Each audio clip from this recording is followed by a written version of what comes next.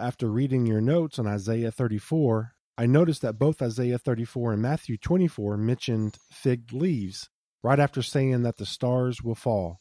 If the two texts are about the same ideas, would that mean that the fig leaves in Jesus' parable represent the same heavenly beings as they do in Isaiah 34? Do you think that is what Jesus was saying? Could you elaborate on what their coming out and summer is near might mean? Yeah, well, I, would say I, I wouldn't use the word, you know, like the leaves represent the actual entities. They represent some.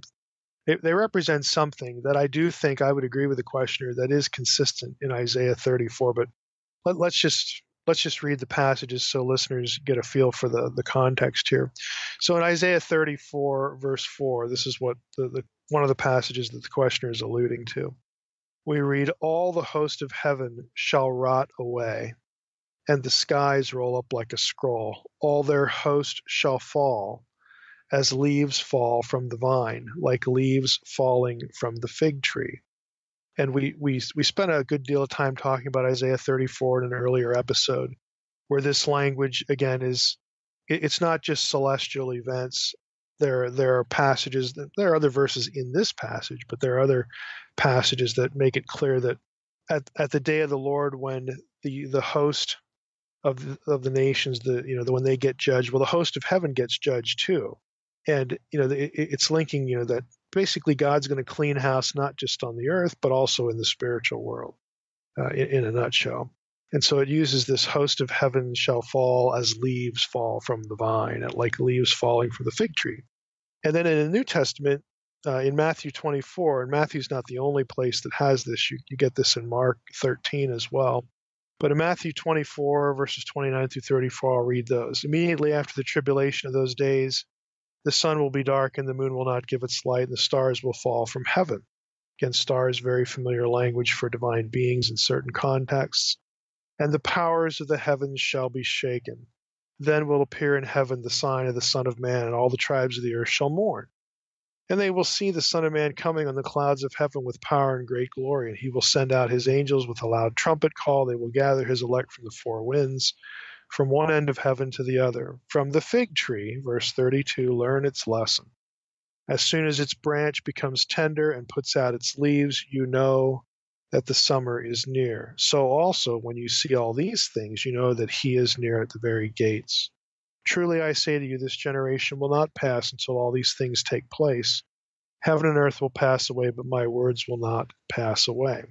Now, in, in Matthew, verse 32, fig tree is the Greek word suke, and that is the same term used in Isaiah 34 4 in the Septuagint. So it, it's very conceivable to me, and again, this isn't unique to me, other, other scholars are going to say the same thing, that Matthew is drawing on uh, in his description of the second coming here, and, and of course associated with it all this other stuff, you know, the judgment of the nations and whatnot, that he could be thinking of Isaiah 34 4. I, I think that that you can make a really good case for that, that Matthew does, and, and Mark, you know, have Isaiah 34 verse 4 in mind. The stars are the gods of the nations, the general powers of spiritual darkness that are hostile to God. Again, that's there's a lot of precedent for that in earlier episodes of the podcast. We've, we've talked about that at length. They're judged in the final sense at the day of the Lord. That's when the nations are also judged and believers are put over the nations. In other words, the nations get reclaimed, their gods are finally defeated, and the believers rule the nations of the world in the new Eden on God's behalf. Like in the book of Revelation, chapter 2, chapter 3, toward the end of both those chapters, we see to him that overcomes, you know, getting put over the nations and ruling the nations with a rod of iron, the messianic language there used of believers. Again, this is all familiar stuff if you've listened to the podcast for any length of time. The point of the fig tree is that it's a useful teaching analogy. I'm going to read a little a little section here from uh, I can find it here from my this is one of my favorite com this might be my favorite commentary on Matthew. It's by uh, R.T. France. He says the fig tree is used because it is the most prominent deciduous tree in Palestine, and one whose summer fruiting was eagerly awaited. The appearance of its new shoots is a clear harbinger of summer, and once they appear, the observer may know for sure how long it will be before the fruit is ready. In the same way, the occurrence of the preliminary events Uh, you know, Francis talking about the preliminary events of of the the messianic coming, the first century, the sort of the first ground, the already, not the not yet.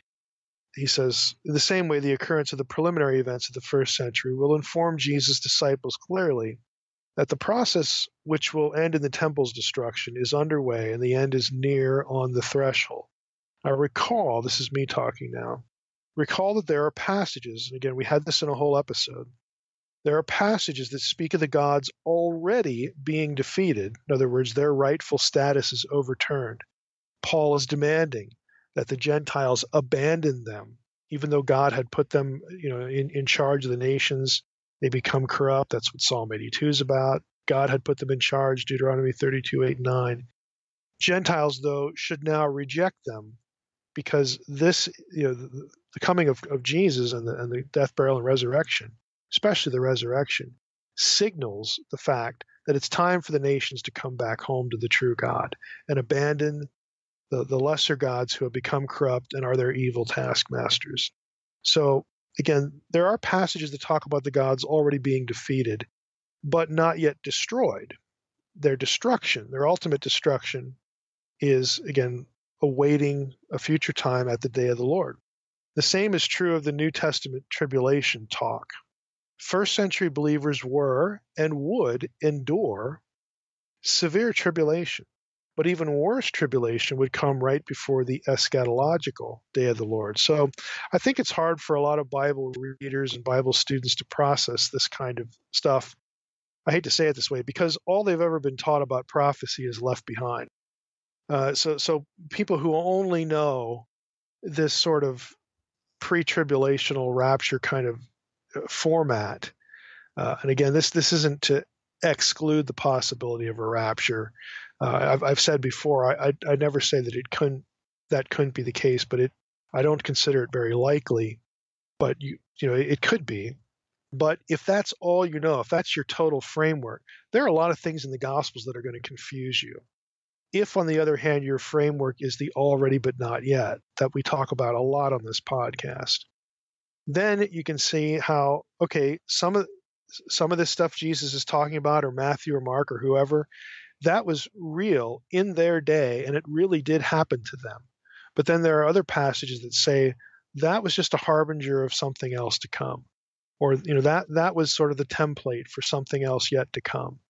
Uh, you, you can see fulfillment in their day and fulfillment yet waiting but if, if all you're ever trained to think about is whenever somebody says something about that sounds eschatological, it's only future, then you're gonna you're gonna have a tough time reading the Gospels. And, and so I, I just want to throw that out to maybe some listeners that that's really the only way they've ever been taught to process eschatology, end times talk. Uh, there's an already but not yet thing that, that flows through most of this stuff and that's why you know we, we need to pay attention to that. We don't need to be ah millers and say everything's already happened or full preterists or whatever. And, and we also don't need to be the other side and say well nothing's happened. It's all yet future. Actually the answer is somewhere in between uh, like like there is in, in so many other cases. So i think the the fig leaf thing is is just a it's a useful illustration that again once you see this and you're going to see it you're going to experience what we're talking about here but if it's tied to Isaiah 34, then the ultimate destruction of the stars of, of, of God uh, is, is associated with the day of the Lord, which has not ha- yet happened. And you can go to the New Testament and talk, you know, even in the Gospels and see, you know, Jesus and, and other people talking about the day of the Lord being yet distant, yet future. So it's not that there's a contradiction, it's that we have a both and, not an either or.